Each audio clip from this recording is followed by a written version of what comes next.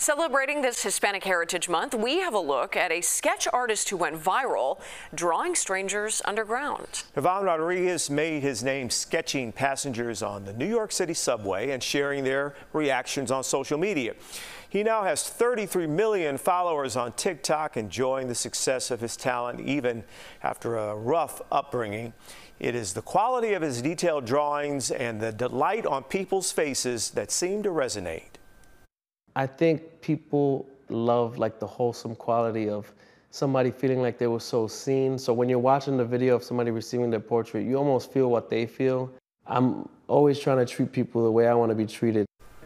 Rodriguez has even drawn Oprah and the president. He's expanded the experience by interviewing his subjects as well.